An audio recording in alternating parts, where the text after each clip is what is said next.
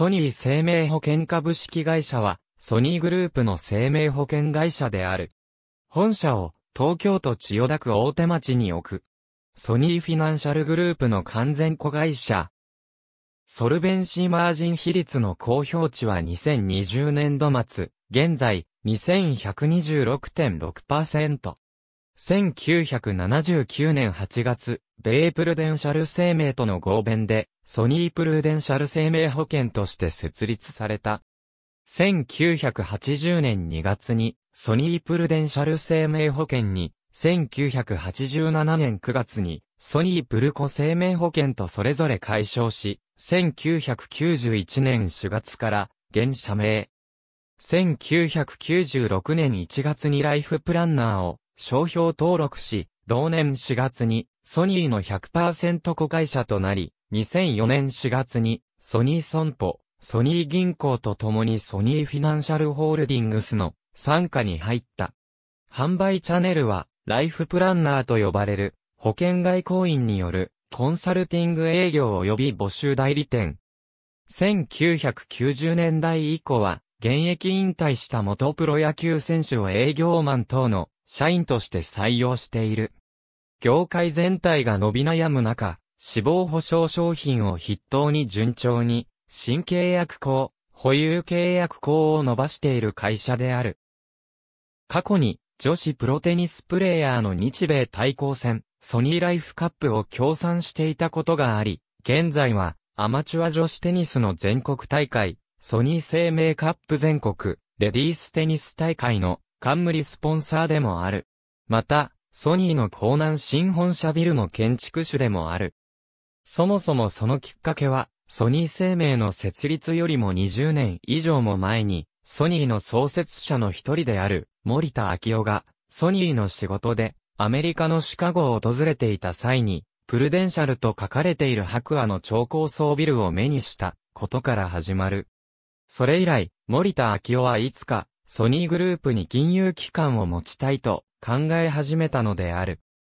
ただ、当時はソニーのような会社が金融機関を持つことは戦後の旧大蔵省の金融行政の下では大変難しく、唯一の方法は外国の生命保険会社と合弁で設立することだった。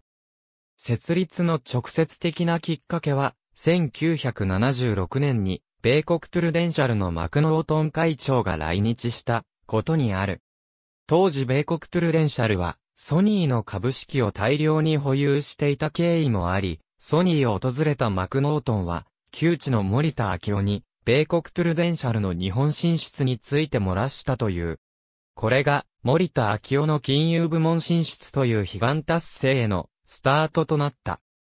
当時の生命保険の世帯加入率は90%以上という市場の中、生命保険のあるべき姿の追求と、高度な知識と販売技術を持ったプロフェッショナルのセールスパーソンによるニードセールスの実践に絶対の自信と情熱を持ち会社の基本を作ったのが、米国プルデンシャルの代表として設立時の副社長となった坂口明氏とソニー代表として参画した設立時の常務の安藤国威である。この二人を中心としたメンバーにより1979年の8月10日に、旧大蔵省の認可をもとに、ソニープルーデンシャル生命保険株式会社として設立し、2年後の1981年4月に、ソニープルデンシャル生命保険株式会社と名称を改め営業を開始することになった。ソニープルデンシャル生命の存在意義は先に触れた、生命保険のあるべき姿の追求と、高度な知識と販売技術を持ったプロフェッショナルの、セールスパーソンによる、ニードセールスの実践であった。そのためにも従来の生命保険外務員のイメージを、排した、全く新しい専門職にしなければならないと、坂口明氏と安藤国威は考えていた。そういう経緯のもとそのプロフェッショナルのセールスパーソンには、厳選採用であること、徹底した研修を行うとともに、呼称をライフプランナーとすることが決定された。現在では、ライフプランナーが一般名称のごとく使用されることもあるほど一般的になってきた名称であるが、実際は、ソニー生命とプルデンシャル生命が持つ、登録商標である。創業時のライフプランナーは27名からスタートしている。当初は男性のみでスタートしたが現在では女性も採用している。1987年米国プルデンシャルの世界戦略の変更から合併を解消し、ソニーとプルデンシャルはそれぞれの道を歩み出した。当時の行政方針によりこの時点でソニー100%というわけにはいかず、一旦ソニー50%のままとし、米国プルデンシャル50%のうち30%を、その子会社のプルコへ移し社名を、ソニープルコ生命保険株式会社とした。ちなみに、日本での単独経営を望んだ、米国プルデンシャルにも営業認可がおり、当時ソニープルデンシャル生命の社長であった、坂口明氏は、プルデンシャル生命の社長として転出していった。その後1991年に社名を念願のソニー生命保険株式会社とし、1996年にはソニー100%となったのである。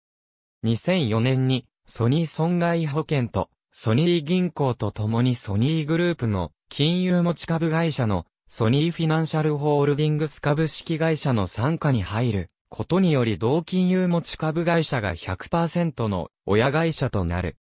これによりグループ内に、政保、損保、銀行を持つ金融グループとして、それぞれの事業を有効に活かした成長戦略を描けるようになった。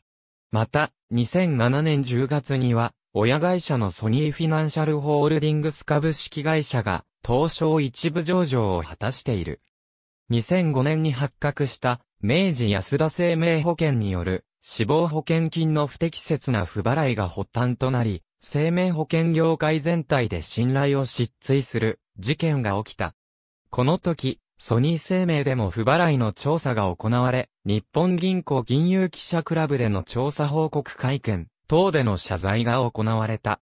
2007年10月に、ソニー生命で確認された最終的な事象件数は1756件の7億4000万となったが、これは他の大手中堅政保と比べると相対的に少ないものである。1981年の営業開始以来、ソニー生命では保有契約が順調に増加し続けている。業界全体として死亡保障分野の販売が落ち込む中、ソニー生命ではこれまで通り死亡保障分野をビジネスの中心と捉え成長を続けている。2008年度には個人保険における新契約項は日本生命、第一生命、住友生命、漢方生命に次ぐ第5位にまで上昇した。不明2004年9月8日に個人情報漏洩問題が発生。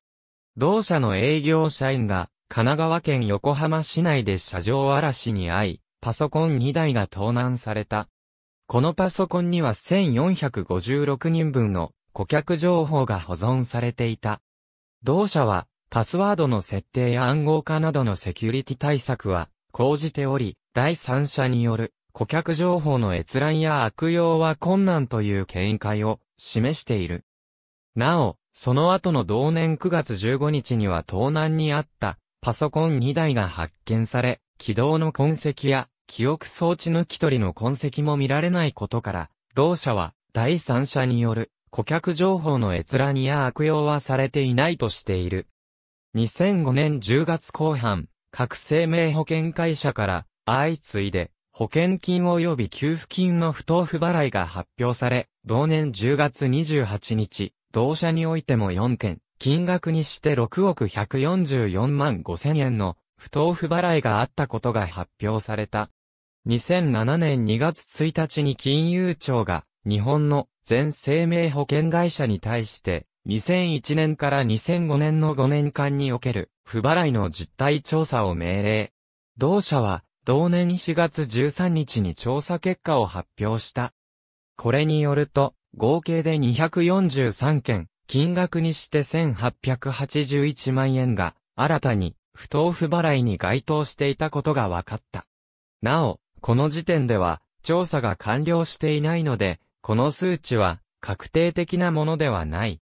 2007年9月28日には、ソニー生命の営業社員の私的なパソコンから約12,500人分の顧客情報がインターネット上に流出する事故があったと発表された。